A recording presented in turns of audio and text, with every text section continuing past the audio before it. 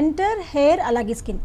వీటన్నిటి గురించి మనతో మాట్లాడటానికి doctor Kalpana from Partha dental TV nine స్టూడియోలో ఉన్నారు. సో మీరు డాక్టర్ గారితో మాట్లాడాలి అనుకుంటే కింద స్క్రీన్ పైన స్క్రోల్ అవుతున్న నెంబర్స్కి డైల్ చేయొచ్చు డాక్టర్ గారితో మాట్లాడచ్చు. హలో అండి. సో డెంటల్ ట్రీట్మెంట్స్ ఎంతవరకు అవసరం అంటారు? ఓరల్ ఇన్ఫెక్షన్స్ ఎంత డేంజరస్ అంటే ఏం చెప్తారు? డెంటల్ ఇన్ఫెక్షన్స్ అనేవి చాలా డేంజరస్ అవి. ఎందుకు అంటే మన నోటి క్యాన్సర్ అనేది అత్యధికంగా ఉండే క్యాన్సర్స్లో ఒకటి. ఇంకొకటి నోట్లో ఉండే ఎటువంటి ఇన్ఫెక్షన్స్ని నెగ్లెక్ట్ చేసినా అది మీకు తెలియకుండానే ఎముకల్లో గడ్డలు అంటే కై పై దవడలో కానీ కింద దవడలో కానీ గడ్డల కింద మారి అవి క్యాన్సర్ కింద కన్వర్ట్ అయ్యి ఎముకలు తీసేసిన పరిస్థితి వస్తుంది. రెండోది నోట్లో ఉండే ఇన్ఫెక్షన్స్ అన్నీ కూడా ఒక పర్టికులర్ ఏరియాకి వచ్చి లేకపోతే చేతి మీద పుండ అయిందనుకోండి ఆ పుండ అక్కడే ఉంటుంది. ఇంకా బాగా మనం నెగ్లెక్ట్ చేస్తే లోపల ఎముక వరకు స్ప్రెడ్ అవుతుంది తప్ప అక్కడే ఉంటుంది. కానీ నోట్లో ఒక పార్ట్లో చిగురులో ఇన్ఫెక్షన్ స్టార్ట్ అయింది అనుకుంటే ఆ చిగురు వరకు ఆగదు. మొత్తం నోట్లో ఉండే పళ్ళన్నిటికీ ఎఫెక్ట్ చేస్తుంది. నోట్లో ఉండే ఎముక అంతా ఎఫెక్ట్ చేస్తుంది. ఒక పాయింట్కి వచ్చేసరికి ఎక్కడో ఒక మూల ఒక్క పన్నుతో స్టార్ట్ అయిన ఇన్ఫెక్షన్ నోట్లో పళ్ళని రాలి పడిపోవడానికి నో చిగురులో ఇన్ఫెక్షన్స్ కారణమవుతాయి. అలాగే పుచ్చిపోయిన పళ్ళు తీసుకుందాం. Simple problem. అందరికీ ముగ్గురిని తీసుకుంటే ఇద్దరిలో ఉండే ప్రాబ్లం. మీరు ఫస్ట్ డే చూస్తే ఒక్క పనులో నల్లటి మచ్చలా స్టార్ట్ అయిన ఈ పుచ్చు హార్మోన్ అనేది మీరు నెగ్లెక్ట్ చేయడం వల్ల సకాలంలో దాన్ని ట్రీట్ చేయించుకోకపోవడం వల్ల నెలకి రెండు నెలలకి ఒక పళ్ళల్లో నాలుగు పళ్ళు అవుతుంది నాలుగు పళ్ళల్లో పది పళ్ళు అవుతుంది పది పళ్ళల్లో నోట్లో పళ్ళన్నీ ముక్కలు ముక్కలుగా విరిగిపోయి నోట్లో పళ్ళన్నీ తీయించుకుని ఆర్టిఫిషియల్ పళ్ళు పెట్టించుకునేంత వరకు ఈ పుచ్చిపోయిన పన్ను అనేది తాగుతీస్తుంది సో నోట్లో ఉండే ఎటువంటి ఇన్ఫెక్షన్స్ అన్నా కూడా అవి కంటిన్యూస్ ఉంటాయి కంటేజియస్ ఉంటాయి ఆగవు అవి. ఒక దగ్గర ట్రీట్ చేయించుకుని అది పీకి పారేసే వరకు లేదా ట్రీట్ కంప్లీట్ ట్రీట్మెంట్ చేయించుకునే వరకు ఆగదు. ఫస్ట్ పాయింట్ సెకండ్ పాయింట్ నోట్లో చిన్న చిన్న మచ్చలుగా పడుతున్నా పుళ్ళుగా పడుతున్నా దవడల్లో వలయాల్లాగా మీకు తెల్లటి వలయాలు కానీ ఎల్లో వలయాలు కానీ లేదా దవడ గట్టి పడిపోయి నోరు తెరుచుకోలేకపోవడం లేదా మౌత్ ఓపెనింగ్ అనేది రిస్ట్రిక్ట్ అయిపోవడం కారం లాంటివి తింటే బాగా బగబగా మండేయడం ఈ దవడలు లాంటివి లాంటివి జరుగుతుంటే కనుక ఇమ్మీడియట్గా డాక్టర్ని కలవండి. అవి క్యాన్సర్ తొలి లక్షణాలు లేదా ప్రీ క్యాన్సరస్ లీజన్స్ అని కూడా అంటారు. సో వాటిని నెగ్లెక్ట్ చేయకూడదు. ఇవన్నీ కూడా పేషెంట్ వాళ్ళంతటి వాళ్ళు తెలుసుకోలేరు. ఎందుకంటే నోటికి సంబంధించి జనరల్ క్యాన్సర్ లక్షణమే నొప్పి లేకుండా పాకడం. అది నోట్లో అన్నా కూడా శరీరంలో ఎక్కడన్నా కూడా జరిగే విషయం అది. సో నోట్లో గడ్డల కింద ఫామ్ అవుతున్నా నోట్లో ఇన్ఫెక్షన్ స్టార్ట్ అవుతున్నా చిగుళ్ళ ఇన్ఫెక్షన్ అన్నా పళ్ళకి సంబంధించిన ఇన్ఫెక్షన్ అన్నా వెరీ వెరీ డేంజరస్. అవి నోటి వరకు పళ్ళ వరకే ఆగవు. వన్స్ అగైన్ ఐఎమ్ ఇన్సెసింగ్ చాలా మందికి తెలియని విషయం ఏంటంటే ఒక పన్ను ఇన్ఫెక్ట్ అయితే పీకి పడేద్దాం అనుకుంటారు కానీ కాదు. మీ రక్తం ద్వారా మీరు తినే ఆహారం ద్వారా మీరు బ్రష్ చేసుకున్నప్పుడు మీరు మంచినీళ్ళు తాగినప్పుడు నోట్లో ఉండే ఇన్ఫెక్షన్స్ అనేవి కంప్లీట్ లోపల వరకు కూడా వెళ్తాయి. నోట్లో ఉండే ఇన్ఫెక్షన్స్ వల్ల గుండె జబ్బులు వస్తాయి. నోట్లో ఉండే ఇన్ఫెక్షన్స్ వల్ల లంగ్స్ లివర్ కిడ్నీలు ఇన్ఫెక్ట్ అవుతాయి. నోట్లో ఉండే ఇన్ఫెక్షన్స్ వల్ల బ్రెయిన్కి సంబంధించిన స్ట్రోక్ వస్తుంది. ఇది ఎవరికైనా తెలుసా? మీరు ఎవరైనా తెలుసుకోవాలనుకున్నప్పుడు నెట్ ఉంటుంది. అందరి చేతిలో ఆండ్రాయిడ్ ఫోన్స్ ఉన్నాయి. చక్కగా తీసి చదువుకోండి మీకు అర్థమవుతుంది. సో నోట్లో ఉండే ఎటువంటి ఇన్ఫెక్షన్ అన్నా మీకు ఎటువంటి మార్పులు కనిపించినా అశ్రద్ధ చేయకూడదు. డాక్టర్ని ఇమ్మీడియట్గా కలవండి. ఇన్స్పైట్ ఇప్పుడు కరోనా ఉండే ఈ పరిస్థితుల్లో కూడా నేను మరొకసారి ఇన్సిస్ట్ చేస్తున్నాను. ఈ విషయాలు చాలా మందికి తెలియదు ఇలా ఎవరైనా సఫర్ అవుతుంటే కనుక డాక్టర్ని కలిసి వెంటనే ట్రీట్ చేయించుకోవడం వందకి వంద శాతం అవసరం. రైట్. అసలు మా వెంటనే రండి ఇవన్నీ ఉంటాయని చెప్తున్నారు. అసలు పార్దా డెంటల్లో ఎంతవరకు ఎలాంటి ప్రికాషన్స్ ఎంతవరకు తీసుకుంటున్నారంటే ఏం చెప్తారు? హండ్రెడ్ పర్సెంట్ తీసుకుంటున్నామండి. ఐసీఎంఆర్ రూల్స్ ప్రకారం ప్రోటోకాల్స్ ప్రకారం డబ్ల్యూహెచ్ఓ ప్రోటోకాల్స్ ప్రకారం ఎటువంటి కేర్ తీసుకోవాలో దానికి వన్ పర్సెంట్ వన్ తీసుకోమని వాళ్ళు చెప్తే మేము హండ్రెడ్ పర్సెంట్ తీసుకుంటున్నాం. వేరే ఏ పరిస్థితుల్లో ఎక్కడ ఎంత సేఫ్గా ఉంది అనేది కామెంట్ చేసే పరిస్థితుల్లో మేము లేము. ఎందుకంటే మాకు తెలియదు బయట ఏం జరుగుతుంది అనేది.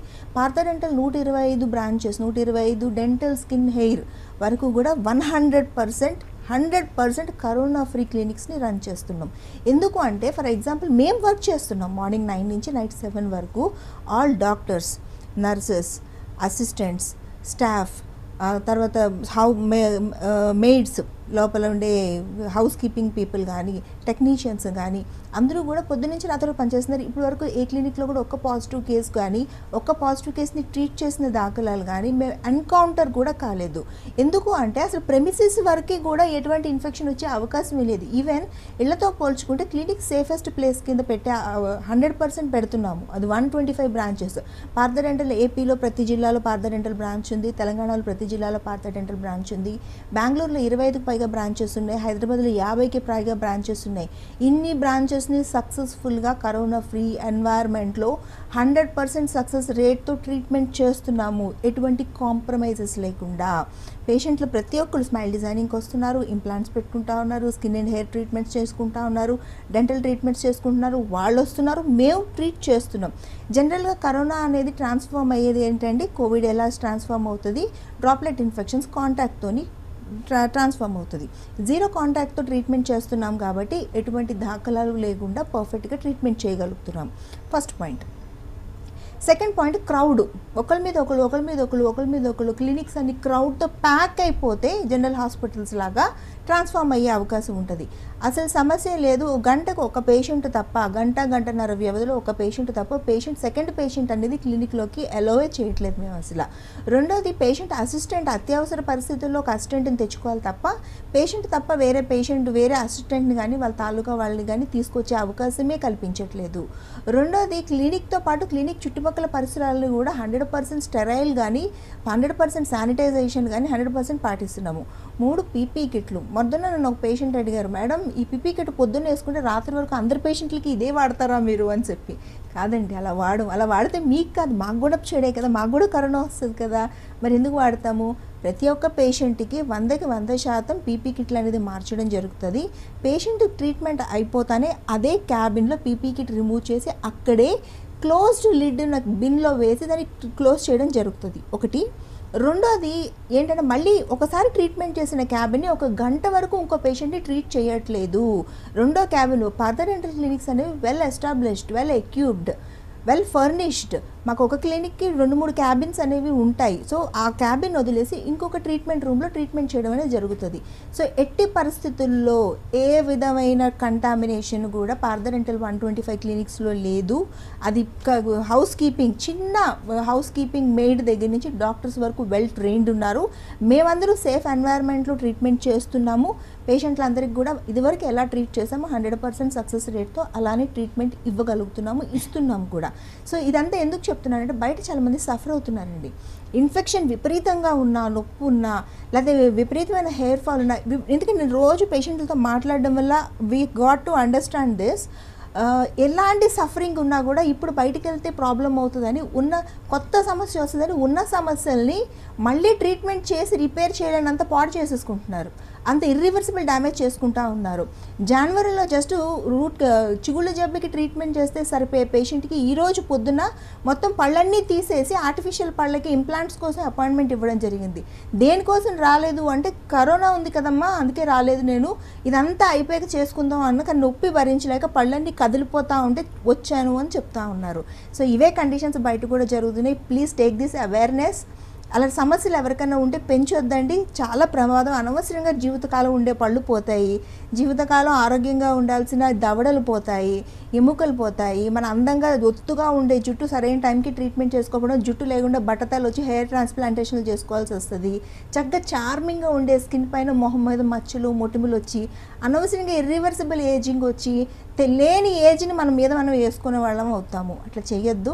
నేను చాలామంది పేషెంట్లు డిస్కస్ చేసి చేసి చేసిన తర్వాత బయట మైండ్ సెట్ ఇలా ఉంది అని ఎక్స్ప్లెనేషన్ అనేది ఇవ్వడం జరుగుతుంది. Right. సఫర్ అవుతుంటే కనుక డెఫినెట్గా ట్రీట్ చేయించుకోండి. చాలా చక్కగా ఎక్స్ప్లెనేషన్ ఇచ్చారు. ఇప్పుడు రావాలని వాళ్ళు కూడా భయపడకుండా పాత డెంటల్కి వచ్చేయచ్చు. సో పళ్ళు పోతే మళ్ళీ రీప్లేస్ చేసుకోవాలా? ఎందుకు రిమైనింగ్ పళ్ళతో మళ్ళీ తినేయచ్చు కదా? మనకు తినడానికి ప్రాబ్లం లేదు కదా అని చాలామంది అనుకుంటూ ఉంటారు. సో వాళ్ళకి ఏం చెప్తారు? వంద శాతం అండి. ఎందుకంటే మన టీత్ పోతే మళ్ళీ టీత్ పెట్టుకోవాలి అనే ఆలోచన ఉండదు. చాలామంది పేషెంట్ల నుంచి వచ్చిన ఫీడ్బ్యాక్ ఏంటంటే ముందు పళ్ళు ఉన్నాయి వెనక పళ్ళు లేకపోయినా అన్నం మెత్తగా ఉడకపెట్టుకుంటూ తింటాను అని కొంతమంది. లేదా లేదా మేడం ఇటుపక్కన మాత్రమే నాకు పళ్ళు లేవు ఇటుపక్క నేను కంఫర్టబుల్గా తింటున్నాను రెండు సంవత్సరాల నుంచి నేను అలాగే తింటున్నాను. నాకు పళ్ళు వద్దు అనే కంప్లైంట్స్ కొంతమంది. కొంతమంది ఇప్పుడు కాదు మేడం నేను ఒక రెండు మూడేళ్ళ తర్వాత మొత్తం పళ్ళన్నీ తీయించుకొని కొత్త పళ్ళు పెట్టుకుంటాను అనే కామెంట్స్ ఇలా పేషెంట్స్ ఫీడ్బ్యాక్ ఇస్తూ ఉంటారండి కానీ అవన్నీ తప్పు. ఎప్పుడైనా చూడండి ఒకటి లేదా రెండు పళ్ళు లేకపోతే మనకి ఒక్క పన్ను లేకపోతే ఇరవై ఐదు శాతం నమిలి తినే సామర్థ్యం పోతుంది. రెండోది మనం రెండు పళ్ళ సెట్లు ఈక్వల్గా నమిలి తినడానికి భగవంతుడు మనకి ఇచ్చింది ఇది ఫిజియాలజీ అది. అలా తింటేనే మనకి లైఫ్ టైం ఆర్టిఫిషియల్ పళ్ళ మీద డిపెండ్ అవ్వకుండా ఎటువంటి ఇన్ఫెక్షన్స్కి ట్రీట్మెంట్స్ లేకుండా ఉండగలుగుతాం. అలా కాకుండా మేము ఒకే పక్క నమిలి తింటే ఏమవుద్ది? ఒక పక్క నమిలి తినక వాడక పాడు చేసుకుంటాము. ఇంకో పక్కన ఎక్కువ వాడేసి ఇటు పక్క కూడా పాడు చేసుకుంటాం. అనవసరంగా ఆరోగ్యంగా ఉండాల్సిన రెండు సెట్లని మన చేతులారా మనం పాడు చేసుకుని అనవసరమైన ట్రీట్మెంట్స్కి మనం దారితీస్తూ ఉంటాము. మూడోది అందం. టీత్ సెట్ అనేవి లోపల అన్నం తినడానికి కాదండి. మన ఫేషియల్ మజిల్స్ అనేవి చాలా ఫిట్గా అందంగా ఉండడానికి మన ఫే ఈ లోపల టీత్ అనేవి ఉపయోగపడతాయి. ఈ టీత్ అనేవి మనం ఎప్పుడు పోయినా ఒక పక్క పోతే ఆ పక్క సాగింగ్ వచ్చేస్తుంది. ఈ పక్క పోతే ఈ పక్క సాగింగ్ వచ్చేస్తుంది. అదే వెనకాతల దంతాలు లేకపోతే దంతాలు సాగింగ్ ఈ మొత్తం దవడలన్నీ జారిపోయి ఏజ్డ్ కనపడతారు. ముందర పళ్ళు ఉంటే మటుకే అందంగా కనిపించరండి. వెనకాతల పళ్ళు కూడా ఉండాలి. సో ఫేషియల్ డిఫార్మిటీ అనేది వచ్చేస్తుంది. సో ఎప్పుడైనా ఒక పన్ను పోగానే ఒక పన్ను వెంటనే రీప్లేస్ చేసుకున్నారనుకోండి మిగతా పళ్ళన్నీ డ్యామేజ్ అవ్వకుండా ఉంటాయి. రెండోది మన ఫేషియల్ డిఫార్మిటీ ఫేస్లో ఎటువంటి చేంజెస్ ఎఫెక్ట్ పడకుండా మనం కాపాడుకోగలుగుతాము. మూడోది ఎఫిషియన్సీ చూయింగ్ ఎఫిషియన్సీ ప్రాపర్గా నమిలి తినటం వల్ల మన ఆరోగ్యంగా ఉంటాము. మన ఇమ్యూనిటీ ఇమ్యూనిటీ ఇమ్యూనిటీ అని ఇప్పుడు ఎక్కువగా వాడుతున్నాం చూసారా?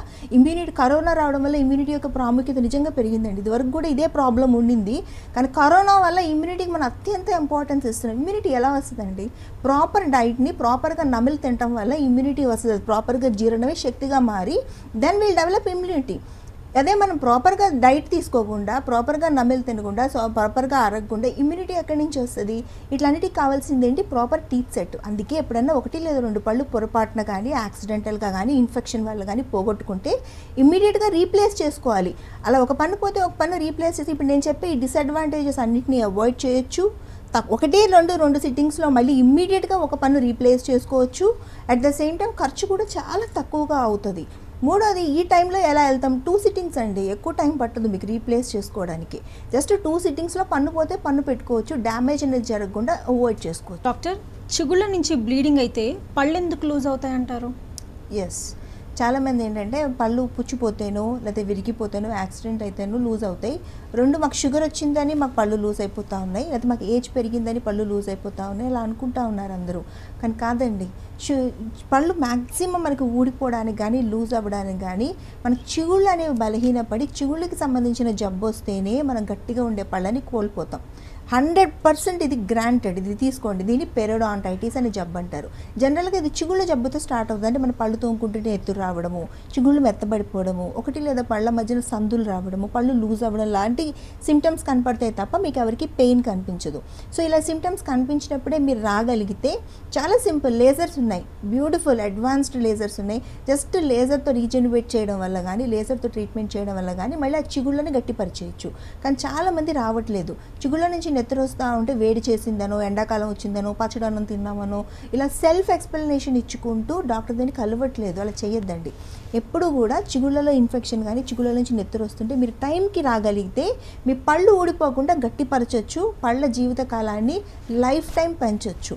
సో లేదు వదిలిపెట్టిస్తారు. అప్పుడు ఏమైంది? చిగురు జబ్బు ఏమవుతుంది? ఆ చిగురు కింద మన పళ్ళు కూర్చుంటాయి ఎముకలో ఇలాగా. ఆ ఎముక గనక ఈ ఇన్ఫెక్షన్ కనుక స్ప్రెడ్ అయింది అంటే జస్ట్ ఆ ఇన్ ఇన్ఫెక్షన్ ఆ ఎముకను తినేయడం స్టార్ట్ చేస్తే దాన్ని పెరిడాంటైటిస్ అంటారు. అయిపోయింది. ఇంకా ఇంకా you have to lose your teeth. అవి పళ్ళు అనేవి ఊడిపోతాయి పడిపోతాయి. దాన్ని మనం ఏం చేయలేము. గ్రాఫ్టింగ్ పెట్టాలి కాంప్లికేటెడ్ ట్రీట్మెంట్స్ చేయాలి. సో అలా చెయ్యొద్దు. ఎవరికైనా కూడా చిగుళ్ళలోంచి నెత్తరు వస్తున్నా పళ్ళు లూజ్ అవుతున్నా పళ్ళ మధ్యన సందులు ఏర్పడుతున్నా చిగుళ్ళు కిందికి జారిపోతున్నా చిగుళ్ళు మెత్తబడిపోతున్నా అస్సలు అశ్రద్ధ చేయకుండా డాక్టర్ని కలవండి.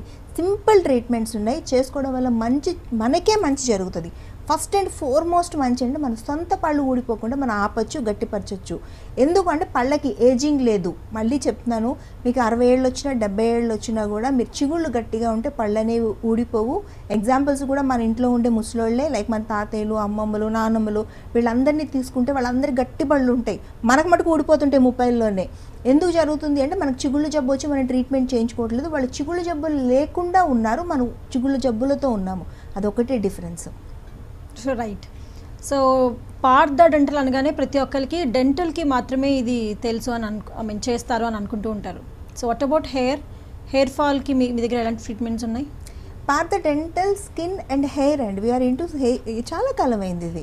ఇప్పుడు డెంటల్లో మేము ఎలా అయితే పార్థ డెంటల్ అనేది హండ్రెడ్ పర్సెంట్ క్వాలిటీతో ninety to ninety five percent success రేట్తో dental treatments ఎలా డెలివర్ చేస్తామో మేము స్కిన్ అండ్ హెయిర్లో కూడా పర్ఫెక్ట్గా ఎటువంటి క్వాలిటీలో కానీ ఎటువంటి ట్రీట్మెంట్ ప్రొసీజర్స్లో కానీ డాక్టర్స్ ఎక్స్పర్టైజ్లో కానీ ఎటువంటి ఇబ్బంది లేదు.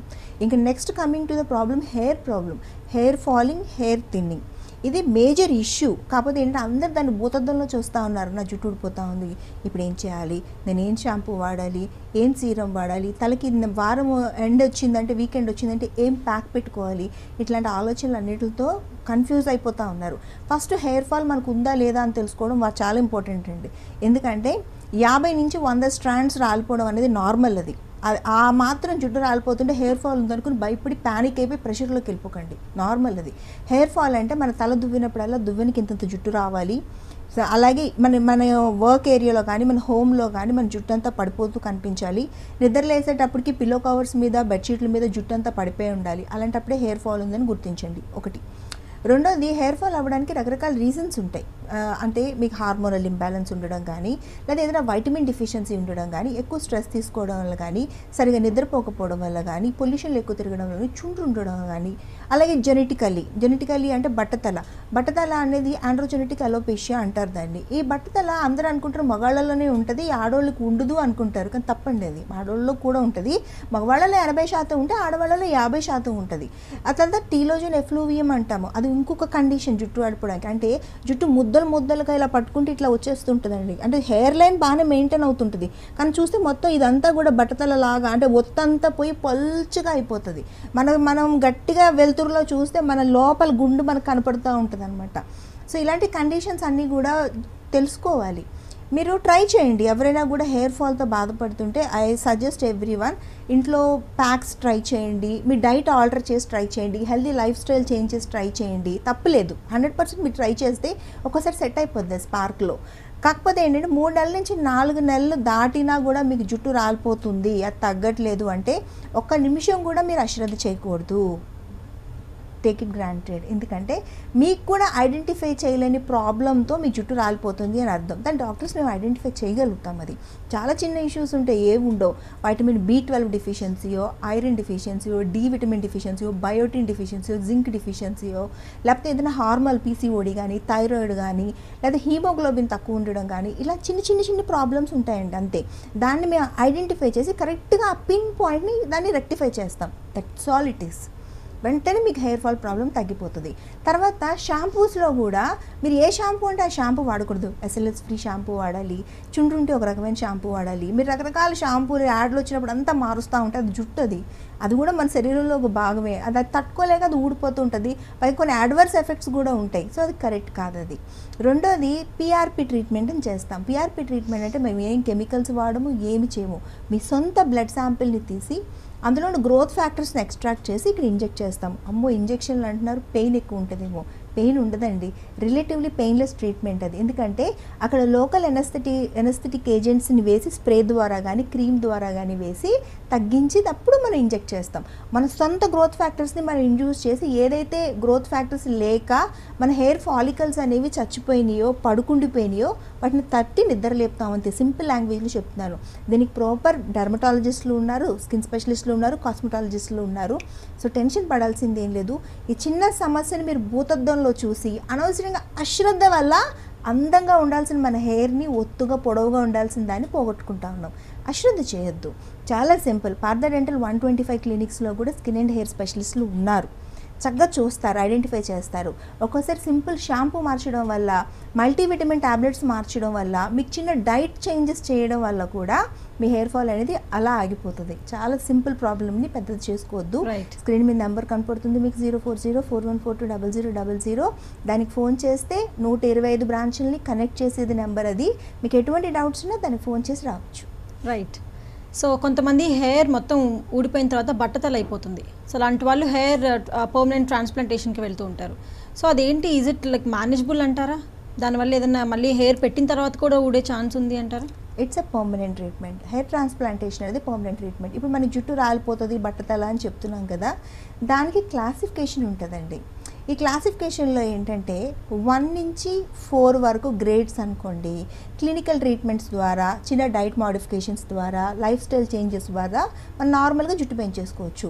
అదే మనం ఫోర్ నుంచి సెవెన్ వరకు అయితే మొత్తం ఈ టెంపోరల్ ఈ పక్క నుంచి ఈ జుట్టు ఇలా వెళ్ళిపోతుంది. ఈ పైన వెర్టెక్స్ దగ్గర జుట్టు పోతుంది. అలాంటప్పుడు అది రీ రీగ్రో కాదు మనం ఎన్ని సపోర్టింగ్ ట్రీట్మెంట్స్ అడ్జెంటివ్ ట్రీట్మెంట్స్ చేసినా.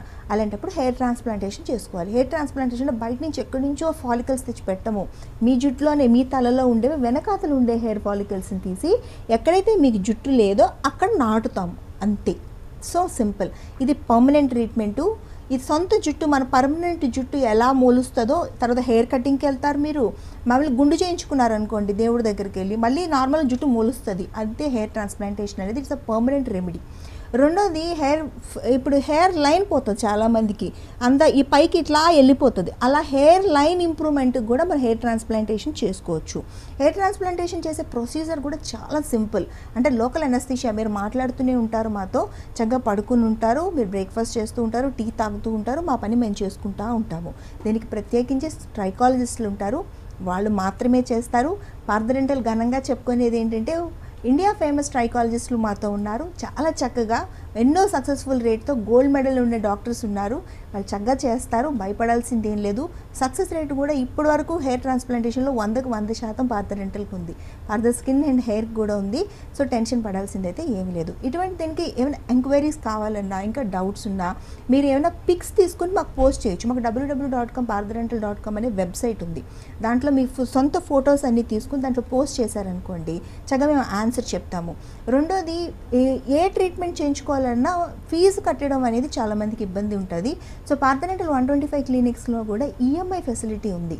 అంటే మీరు. ఫీజుని ఇన్స్టాల్మెంట్స్లో మెల్లిగా కట్టుకోవచ్చు. సో ఎటువంటి డౌట్స్ ఉన్నా కూడా స్క్రీన్ మీద నెంబర్ కనపడుతుంది. కదా zero four zero four one four two double zero double zero దాన్ని ఫోన్ చేసి మాకు కనెక్ట్ అవ్వచ్చు. Right thank you so much అండి.